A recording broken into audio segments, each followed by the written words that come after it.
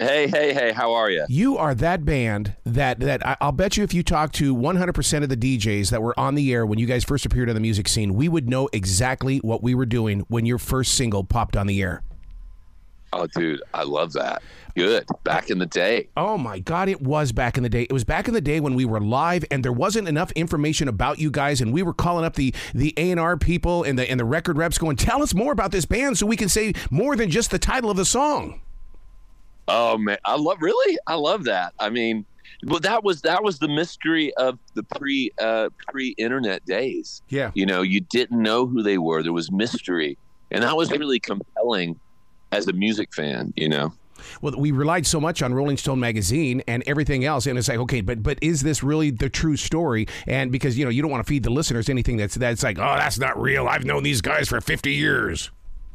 I know, right? Right. uh, well, well, now now all the information is out there. There- There's not a lot of mystery, but th- that's cool too. You know, it, it's good to be able to dig in and and kind of see w- what a, a band or a songwriter is connected to and what they do. I, I dig going down that rabbit hole, but there was something cool to the '90s when you didn't know, and and there was that mystery. Yeah, yeah. Plus, music was changing so quickly at that point in time. It was going in so many different directions, and and music fans were were going right along with you guys. Well, yeah. Well, look, Ezra. You know that that- there was that big explosion of uh, of alternative rock.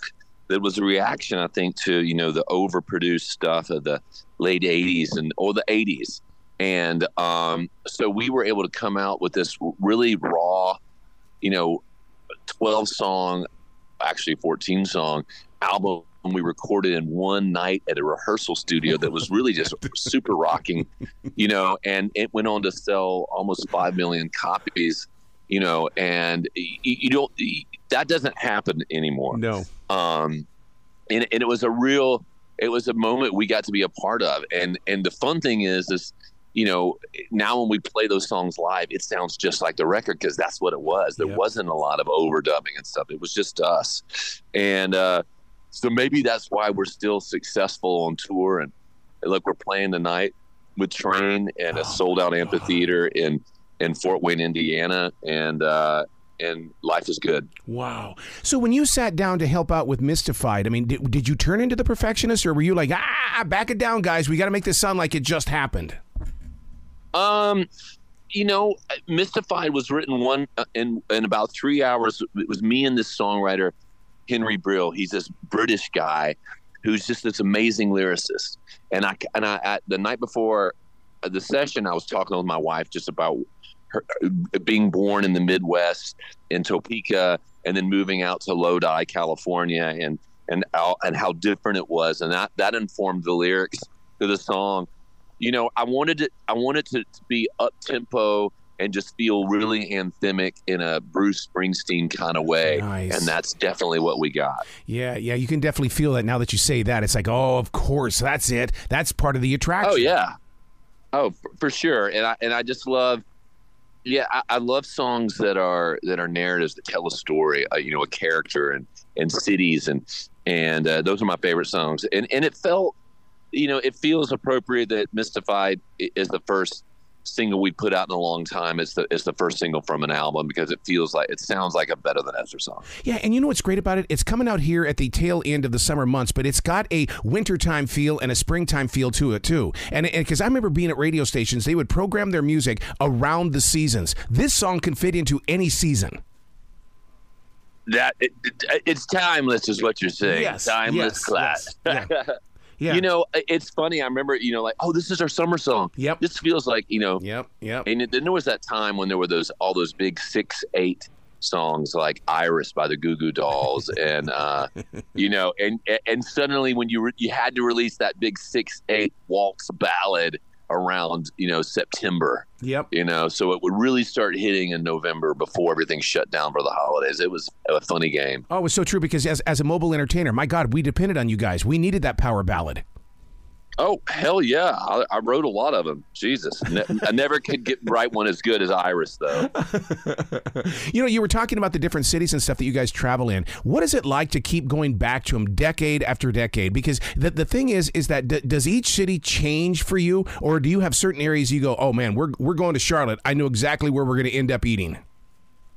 Uh, it, it's it's the latter. You know, we we become we enjoy touring now more than we ever had, and I think it's because we just do it smart. We do it we do it well. We're comfortable when we when we we, we make sure we have a nice bus and a, and a crew that's really cool and we get along with, and we loved going to have you know great meals and like we had a night off uh, night before last in Cincinnati where we played last night and we went and saw a Cincinnati Reds game, oh and then God. we oh, did, wow. so, and, and so we were we were right on the third baseline. We saw that.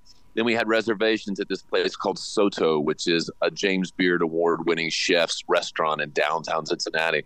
So we just, met, you know, one thing I found is most cities that we've gone to have gotten better. Yep. Meaning, like certain cities that were like now look i live in nashville nashville was lame in the 90s there was no restaurants no hotels you know then then there are other places like down like louisville's you know great um, different cities have had these renaissance uh, uh, you know w- within their downtown where money's come back in old warehouses are now cool lofts Yep. restaurants have come in so so what i found is that that since the 90s there's been a real big trend to rediscovering the magic of downtown and, and everything it has to offer wherever, wherever that city is Yeah. Joe Perry once told me that he he would go into a city and he would learn it by its echo in in the arena or wherever you were playing. Do you find yourself doing that too? Because when you go up to uh, when you're on that stage doing that sound check, it's like, oh damn it, I remember when I was here the last time. you know what i do most of the times though it's something about the room that you didn't like Yep. because I mean, because when you're playing a big room like tonight, a big outdoor amphitheater, it- there's a lot of isolation. Like last night, we were at Bo- we we played Bogarts, which is about a about a 2,000 seat uh, club in in Cincinnati, and you get back there and, and you go down in the dressing room and you're like, oh, I remember this place. but but but but it, it's a, some fresh coats of paint. Um, but yeah, you, you you you remember certain things about rooms, things that are good, things that are bad, things you got to kind of compensate for. And it's kind of just like seeing an old friend. Yep, yep, yep. Hey, we've got something in common, and, and that is we're both authors. Your book, The Greatest Song, comes with a five song EP. My last two books came with music. Dude, what is it about when we're writing in books that we are creative through sound? Um, it's all connected. It is. You know, it's all, and that's what I found. Look, and, and that's part of what the book is about. You know, that that the things that you can do in business to be successful and inspired and creative throughout your career are also things that will lend itself to your personal life. And so, like that, you know, so writing music, uh, it's all it's all connected. And look, this this was a story about set in a music world. But that's awesome that you that you're an author too. Congratulations. Oh my God, I, I, I can't quit writing. I've, I've been a writer since second grade. It, it's the one thing that, that is, has always been my mainstay. And I think that's the only reason why I'm in radio is because I get to talk what I've written. Oh, well, what what were your what? Tell me about your book. Well, my last one was about John Lennon. I believe that he's still alive. He's got Alzheimer's, and and you know what's so crazy about that is as I was putting that book together, um, Glen Campbell's family reached out to me, and that's when I started learning more about Alzheimer's and how creative people wow. still keep going. Well, you know, Alzheimer. There's we've all seen the interviews with people who are suffering from dementia who who music is the one thing that breaks through the fog. Yep. You know, it, it can bring, you know, a musician out of, you know, complete, you know, listlessness. And so, look, that's a good thing for musicians, you know, uh, uh, it, but it also keeps those those neural pathways open, you know. Mhm. Um, so, look, let, let's hope. I I hope that music for me is something that, that keeps me sharp into my 90s. Yep. You know, one of the things that I find inspiring about you is that you really do help other creatives out because you've got a, you've got five daily steps that you do that that really opens up the mind to just let me receive it, let me deliver it, and then let me send it out to those that need to have it. Yeah, well, look, I mean, what I found, I started, I wrote the book because I got asked to do a speech to a business group yep. uh, about seven years ago, and and the, and the speech took off, and I, I, I go and speak from to companies from Disney and Nike and Google and Salesforce all around the country, and um, and I realized that oh, there's certain things that I, I, I actually do to stay um, inspired and competitive mm-hmm. and knowing the business of my business and leaving my comfort zone and changing my angle of approach i'm kind of at a standstill you know and it's things that all people all people can do um, and it, look and there, there's a reason I, you know music is a fickle business but here i am i'm 54 years old you know and i, I go and like i'll get off the road you know in a couple of weeks for a little bit, and I, you know, the next day I'm in a session with a, a, a band of you know 20 year olds, you know, and then the next day is is a you know a, a female duo, yep. country duo, and the next day is an alt rock band, and um and I just love music, and so I have to, I have to stay I have to stay inspired and you know evolving, and you can do it. That's that's the that's the big reveal. It's like oh I can still be inspired and bring something creatively. Yeah. Do you, do you see that creativity is a is an addiction, or do you think it's feeding something else? Huh. That's interesting. Um, I think that creativity, maybe it is an addiction. Look, I have to create. Me if too. I if I feel like I'm, if I'm like if I to a fault, if I don't, if I feel like I'm not being productive, you know, I'm, I'm not creating stuff I get real ill at ease. And sometimes my wife just says, Hey, relax. You do enough. You work hard enough. Just, you don't have to be doing anything. Just relax. And, and I, but but our minds tell us one thing and reality is often very different uh-huh. so now the, the tour you, this is becoming a tradition because i mean you're you're out there on the road going into these cities i mean are you seeing the same people and then the, now they're bringing their kids uh it's amazing. Like last night, we we played a show. There was uh, a, a, a guy who's been seeing us for 30 years, he had his wife. They had they got they met at one of our shows. Uh, one of our songs was their wedding song. Aww. Their three sons were all there. One of the the the twelve year old just learned one of our songs on acoustic, and they and one you know then then the, other night there's a uh, there's a girl. She's I guess she looks like ten years old, and it says raised. She has a T-shirt says raised on better than Ezra.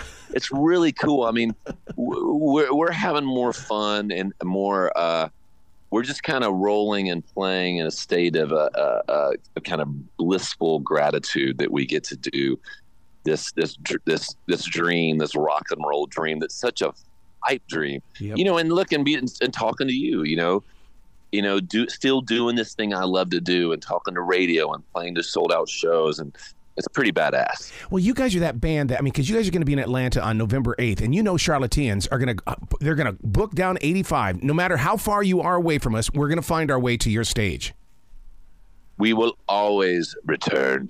we will always return. Whether you want us to or not, like indigestion, we will always return. You, you got to like the way the music industry is these days, where you have better control of what's going on inside that studio. Even if you've come up with an idea in your home studio, you can take it to the bigger guys, and but yet you, you still planted that seed and it's not sitting there on your smartphone.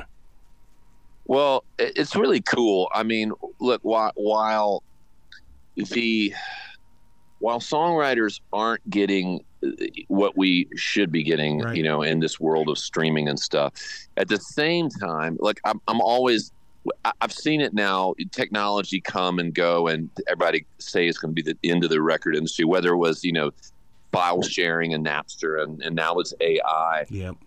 There's always a silver lining and a new and a new path and a new uh, way for to, to make a living.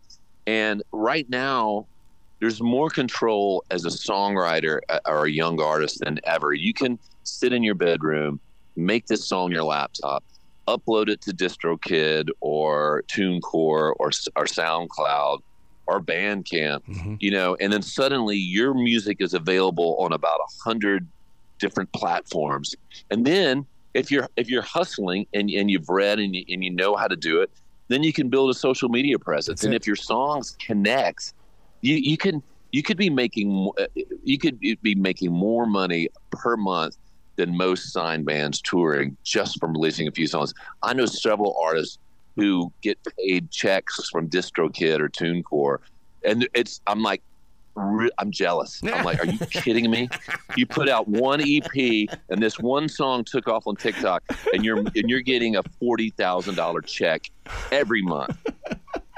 And then I'm helping this kid invest it. Like, hey, here's a great financial advisor good luck. Invest that. You know, it's nuts. you got to come back to the show anytime in the future. The door is always going to be open for you. Brother, thank you so much and, and, and continued success in the writing and stuff. You bet. Same to you. You be brilliant today, okay? I will, brother. You too.